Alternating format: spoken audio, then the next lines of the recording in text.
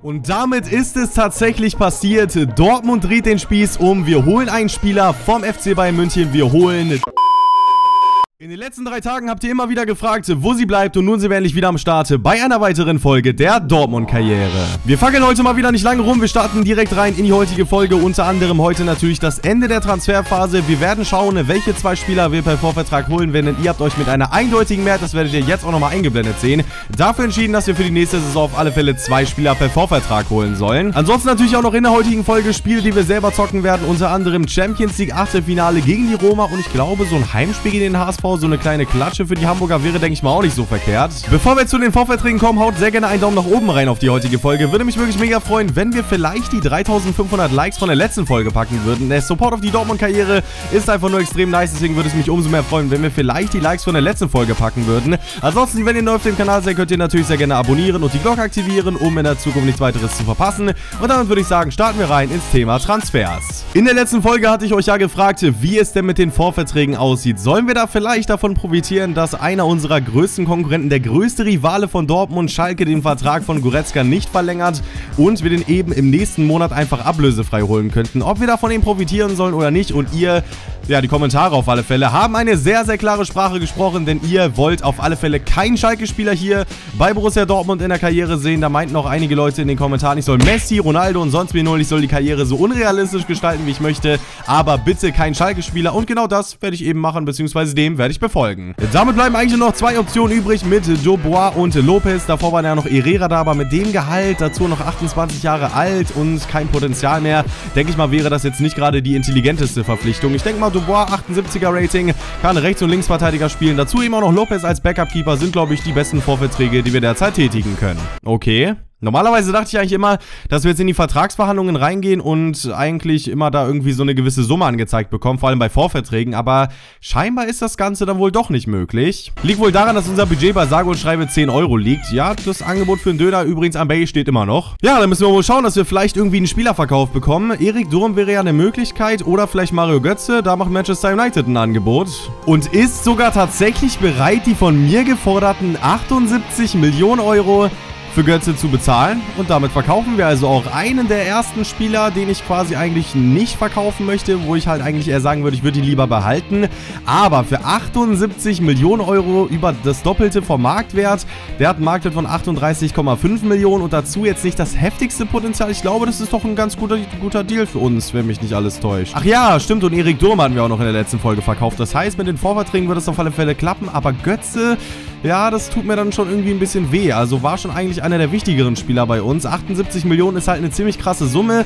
Dazu, ich weiß nicht. Also ihr könnt ja mal sehr gerne eure Meinung dazu unten in die Kommentare schreiben. Es ist halt eigentlich nur ein Karrieremodus. Ich habe auch unter anderem in der Bayern-Karriere Müller an Manchester City verkauft. Also ich glaube, das ist ein bisschen krasser als ein zurückkehrender Mario Götze, den wir jetzt hier an Manchester United für immerhin 78 Millionen verkaufen. Ne? Also ich glaube, wenn Dortmund 78 Millionen echt bekommen würde, dann wären die bestimmt glücklich darüber. Erste Simulation der heutigen Folge. Vielleicht das letzte Spiel für Mario Götze in Schwarz-Gelb. Diesmal geht es nicht innerhalb der Liga zu einem direkten Konkurrenten, sondern nach England zu Manchester United. Gegen Freiburg gibt es einen 13-0-Sieg mit zwei Toren von Bale. Und Mario Götze ist tatsächlich verkauft an José Mourinho, die Red Devils. Manchester United 78 Millionen. Das heißt, wir haben jetzt auf unserem Transferbudget nicht mehr 10 Euro, sondern saftige 76 Millionen Euro. Erste Trainingseinheit der heutigen Folge, das erste Upgrade für eines unserer Talente mit Sagadu, der auf 71 steigt. Und jetzt gilt es, einen Nachfolger für Mario Götze zu finden. Ihr kennt mich, Leute. Ich habe meinen eigenen Karrieremodus-Stil und deswegen werden wir jetzt auch etwas tun, was Dortmund nie in echt tun würde, genauso wie wir Bale geholt haben. Vor allen Dingen, der Spieler stagniert schon relativ lange bei seinem Verein und außerdem sind wir jetzt gerade an der Spitze in Deutschland. Deswegen müssen wir auf alle Fälle mal solche Transfers tätigen. Der Nachfolger von Mario Götze könnte vielleicht einer vom FC Bayern werden mit David Alaba. Für die Leute, die es nicht wissen, Alaba kann als Achter spielen, ist sogar ein verdammt krasser Achter. Also der hat auf alle Fälle Attribute, die passen vielleicht auch eher zu einem Achter bzw. zu einem zentralen Mittelfeldspieler. Der ist wirklich ziemlich offensiv stark. Der hat einen krassen ja, Distanzschuss und so weiter und vielleicht mal einen Spieler vom FC Bayern holen, quasi den Spieß umdrehen, weil ein Spieler wie Alaba, den könnte Dortmund auf alle Fälle vertragen. Vielleicht werden einige Leute mir jetzt nicht zustimmen, aber ich meine, wir haben unter anderem schon Bale geholt, also was soll an David Alaba bitte verkehrt sein? 60 Millionen als erstes Angebot. Bayern muss erstmal überlegen, was eigentlich so viel heißt wie, sie werden das Angebot sowieso ablehnen. Wow, welch Wunder. Aber die geforderten 6 66,6 Millionen sind gerade mal eben 6,6 Millionen mehr als ich geboten hatte und das passt uns auf alle Fälle noch sehr, sehr gut ins Budget und das werden wir auf alle Fälle annehmen. Jetzt muss der Mr. Assistenztrainer noch einen ordentlichen Vertrag für Alaba verhandeln und damit ist es tatsächlich passiert. Dortmund dreht den Spieß um, wir holen einen Spieler vom FC Bayern München, wir holen David Alaba. Die Leute können mich gerne haten, die Leute können mir gerne sagen, wie unrealistisch das ist, aber wie gesagt, das ist meine Karriere und ich persönlich mag es halt eben, wenn wir auch mal ein paar verrückte Dinge ausprobieren, nicht nur irgendwelche Talente holen, sondern halt auch einfach mal Spieler holen, die uns sofort weiterhelfen und ich glaube mal einer vom Kaliber wie Alaba ist auf alle Fälle genauso einer. Ich denke mal, die Leute feiern mich doch einfach, weil ich nicht der typische Karrieremodus-YouTuber bin, der jetzt irgendwie auf so FIFA geht, da nach Spielern guckt, die das beste Potenzial haben und da einfach die Spieler jetzt hier zu Dortmund holt, sondern weil ich auch einfach mal ein bisschen was Verrückteres ausprobiere. Bale zu Dortmund, jetzt Alaba, Kramaric und so weiter. Also ziemlich coole Transfers, wie ich finde bisher und vor allen Dingen jetzt auch einfach mal als Klischee diesen wunderbaren Spieß umgedreht. Jetzt holt also nicht nur Bayern München die Dortmund-Leistungsträger, sondern Dortmund holt einen verdammt krassen Bayern-Leistungsträger. Nebenbei nehmen wir auch noch zwei Spieler unter Vorvertrag. Paul Lopez und Leo Dubois wechseln in der nächsten Saison zu Borussia Dortmund. Ja, und so viel dann auf alle Fälle zur Transferphase. Also ich bin echt verdammt gespannt, wenn das Video hier online kommt, wie das Feedback zur Verpflichtung von Alaba sein wird. Einige Leute haben sich ja schon bei Bale aufgeregt, jetzt aber noch ein Spieler von Bayern. Ihr findet oben rechts in der Infocard einfach mal eine Abstimmung verlinkt, was ihr eben vom Transfer haltet. Würde mich auf alle Fälle interessieren. Beim Bale-Transfer war es doch noch sehr, sehr positiv. Vielleicht finden es auch sehr viele Leute positiv, weil es jetzt einfach mal das Klischee genau umdreht. Nein, Guerrero möchte ich eigentlich ungern verkaufen, vor allen Dingen nicht für 30 Millionen. Deswegen stimmt da wie gesagt ab, oben rechts einfach auf das i klicken und eure Stimme abgeben, für was ihr eben eher seid, beziehungsweise wie den Transfer eben findet. Da bin ich echt verdammt gespannt. Nächste Simulation in der Bundesliga. Es geht ran im Freitagsspiel auswärts gegen Köln und das könnte doch eine relativ anstrengende Partie werden. Auswärtssimulationen sind nicht immer so ganz nett. Risse mit dem 1 zu 0. Am Ende gewinnen wir sogar noch mit 2 zu 1. Ja, nicht schlecht. Toprak und Bale mit den Treffern. Bale ist echt in der Rückrunde vor allen Dingen richtig mies on fire. Natürlich ist mal wieder Training angesagt und die Noten sehen auf alle Fälle ziemlich gut aus. Ja, Bayern kommt langsam aber sicher ran in der Bundesliga-Tabelle. In der letzten Folge waren sie noch 15. Jetzt sind sie schon Dritter und ja, es geht immer weiter steil nach oben. Die Formation für das Spiel steht ebenfalls Bale momentan einfach, würde ich sagen, der Stürmer hier beim BVB, der am besten in Form ist und ich denke mal, dafür hat er sich auf alle Fälle verdient, hier auch von Anfang an zu spielen. In den nächsten Partien dann auf alle Fälle wieder mit Batshuayi und Kramaric und dann würde ich sagen, starten wir rein ins erste Spiel der heutigen Folge, was wir selber angehen werden. Es geht ran gegen den HSV, gibt hoffentlich eine schöne Klatsche für die Hamburger und damit würde ich sagen, starten wir rein und los geht's. Ich habe tatsächlich auch noch Sakadu von der letzten Folge drin gelassen, aber ich denke mal, das sollte nicht so schlimm sein. Vor allen Dingen in der letzten Folge hat er mir mega gut gefallen und ich denke mal, das wird er heute nicht anders machen. Wir starten rein ins Spiel und los geht's. Starker Ball in die Spitze, da ist Bale, starker linker Fuß und der Ball kommt Ah, fast in die Mitte sogar, aber das war schon mal die erste gefährliche Aktion. Boah, Pulisic holt sich den Ball, zieht einfach mal drauf und trifft die Latte. Och Mann, Reus auf Alaba. Der hat einen starken Linken, der setzt sich durch. David Alaba. Schade. Legt sich den Ball zurück. Pulisic. Och, das gibt's nicht. So, nächste Aktion. Guerrero flankt ihn rein. Der kommt wieder gefährlich und da ist das 1 zu 0. Ist das Stefan de Vrij? Es ist Stefan de Vrij, wenn mich nicht alles täuscht, oder? Ist denn das? Ist das De Vrij? Müsste er eigentlich sein. Mit der Nummer 3, Stefan De Vrij. Das war ein Reim. In der 20. Minute mit dem 1 zu 0 endlich die Erlösung, nachdem wir so viele Schüsse aufs Tor von Hamburg abgefeuert haben. Jetzt also endlich das 1 zu 0 nach der Ecke. Flanke von Guerrero und De Vrij trifft per Kopf zum 1 zu 0. Sehr, sehr stark. Schickt Partey auf die Reise. Der Mann kann nicht nur Partey machen, der kann auch krasse Flanken schlagen. Pulisic schon mal in die Mitte. Partey köpft ihn rein. Oh, das ist krasse gespielt, Junge. Das ist krasse gespielt. Klasse oder krass? Wir machen einfach krasse draus. 2 zu 0. Bale mit dem Tor, mit dem Herz. 58. Minute. Und da ist die 2 zu 0 Führung. Mann, ist das gut. Erstmal Partey, dann wieder Pulisic, dann nochmal Partey und Gareth Bale dann mit dem Abschluss und mit dem 2 zu 0. Wichtiges Ding, Hamburg war langsam aber sicher am Drücken, aber jetzt eben die Erleichterung des 2 zu 0 und Bale mal wieder mit dem Tor. Also der eskaliert langsam aber sicher auf alle Fälle. Komm schon jetzt, Alaba im perfekten Moment auf Reus gespielt. Das ist richtig stark. Wieder in die Mitte gespielt. Oder da ist... Ja, ja, ja, ja, ja. 3-0. David Alaba also auch mit seinem ersten Tor für den FC Bayern. Da war er ein bisschen durcheinander. Da verbeugt er sich. Der ist da, der ist angekommen. David Alaba mit seinem ersten Tor für den BVB, für Borussia Dortmund.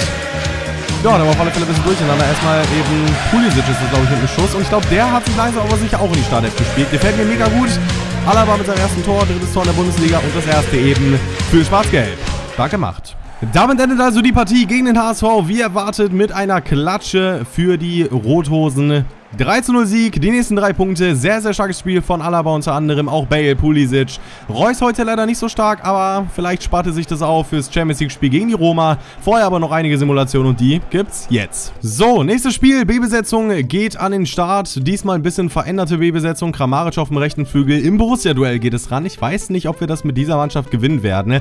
Kann ich mir, um ehrlich zu sein, beim besten Willen nicht vorstellen. Aber ja, man soll die Jungen nicht unterschätzen. Auch Gomez endlich mal mit seinem ersten Einsatz. Das haben auch sehr, sehr viele Leute von euch gefordert. Bisher sieht es ja gar nicht mal so verkehrt aus. Sancho sogar mit dem 1-0 und am Ende gewinnen wir sogar 2-0, was Sancho einen Doppelpack macht. Nicht schlecht. Also die Form von uns hier in dieser Dortmund-Karriere ist echt der absolute Wahnsinn. Das kann man keinem erzählen. Mit so einer Mannschaft auswärts vor allen Dingen auch noch in der Simulation zu gewinnen, das ist schon eine ziemlich krasse Leistung. Einmal spannende Musik bitte. Und jetzt wird es auf alle Fälle verdammt ernst. Champions League Achtelfinale gegen die Roma. Wir können sehen, wer alles weitergekommen ist. Das sind jetzt wirklich nur noch die Hochkaliber, auf die wir treffen werden. Und die Roma ist auf alle Fälle ein Gegner, den man alles andere als unterschätzen sollte. Die haben wirklich ziemlich gute Spieler dabei. Wir spielen als erstes auswärts. Das ist die Mannschaft, die ich an den Start schicken werde. Batshuayi, Beide und Sancho vorne nach dem Doppelpack. Hatte sich auf alle Fälle einen Startelfplatz verdient. Dann eben Reus, Alaba, Pate, Viererkette, Guerrero, Toprak, De Vrij, Pereira und Hornentor. Viel gibt es, glaube ich, gar nicht mehr zu erzählen. Wir starten rein in das Ganze im Stadio Olimpico und los geht's. Sich eine gute Ausgangslage für das Rückspiel zu schaffen, das ist heute das schwarz-gelbe Ziel in Rom. Geht es ran gegen den AS Rom und ich denke mal, das wird ein ziemlich hartes Spiel werden. Bisher haben wir mit diesen neuen ja, Computer-CPU-Einstellungen noch nicht gegen einen richtig guten Gegner angetreten, sind noch nicht gegen einen richtig guten Gegner angetreten. Aber das wird sich ab dem heutigen Spiel ändern in Rom. Die haben auf alle Fälle einige Topspieler, die haben unter anderem Barcelona in der Champions League rausgeworfen und ich denke mal mit Spielern wie Jeko, Manolas, Nainggolan und so weiter, Arjen Robben auch einfach bei Rom. Also muss man sagen, denke ich mal, wird das hier eine ziemlich interessante Partie werden. Wir haben unter anderem in der Champions League schon ganz andere Kaliber rausgehauen, deswegen... Wir haben in der Champions League schon ganz andere Kaliber besiegt wie Barcelona oder Liverpool. Dennoch sollte man die auf alle Fälle nicht unterschätzen. Unter anderem neben Robin auch noch Jimenez und Wendell neu dazu geholt. Also sehr, sehr interessante Transfers bei der Roma. Und damit würde ich sagen, starten wir rein ins Spiel. Los geht's, wir sehen uns in der ersten Szene wieder. Reus. Batshuayi, bisher nicht oft in Szene gewesen. Starker Ball auf Reus, das ist schön gespielt. Das ist wunderbar gespielt. Und es ist das 1 zu 0. 20. Minute und Dortmund geht in Führung. Marco Reus ist der Torschütze, wer aber auch sonst. Batshuayi hält den Ball hier einfach nur verdammt stark und dann sieht er eben die Lücke für Reus und das wird ein bisschen eng mit dem Verteidiger, aber Reus zieht eben direkt drauf und der hat eine Schusstechnik, die hat sich auf alle Fälle gewaschen. Reus mit seinem nächsten Champions League Tor mittlerweile schon Champions League Tor Nummer 7 und wir sind gerade mal im Achtelfinale. Das ist echt der absolute Wahnsinn. Also Reus kann auf alle Fälle Königsklasse, Reus kann nicht verletzt sein und Reus kann auf alle Fälle Tore schießen.